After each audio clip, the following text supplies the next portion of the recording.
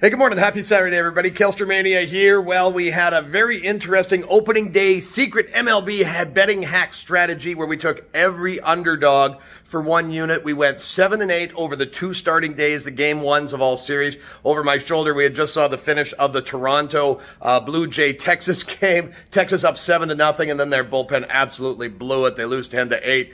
Uh, overall, though, we won 2.1 units of profit taking every underdog. So that strategy has been a proven winner. I've been betting it for over 30 years. Saturday, we've got some great action coming up. The Masters, our picks in our private VIP premium play selection are doing incredible well. Our biggest bet that we put out was on Tiger Woods to make the cut, and he did. I won my biggest golf bet ever. It is awesome. By joining this community, you're getting great picks, great value, and it's a lot of fun. To be on the winning side and getting the inside information, we've got some big Major League Baseball games today, as well as we've got NHL. As we're gearing up for the NBA and NHL profits, we've got some big, big games, some nice situational plays. So go to patreon.com slash game changers to join up for less than a buck a day and get the insider edge, get all the information of everything we're playing. I got a free pick today in the NHL, and it is on the Philadelphia Flyers. They are taking on Anaheim at home. I like them them to crush Anaheim today. They're only minus 115. So take that for five units and a smaller bet for three units.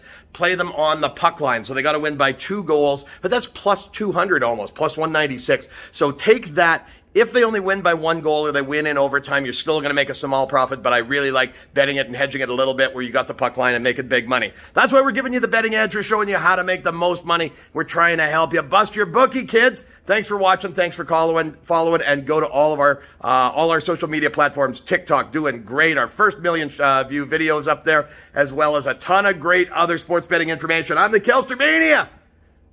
See you tomorrow.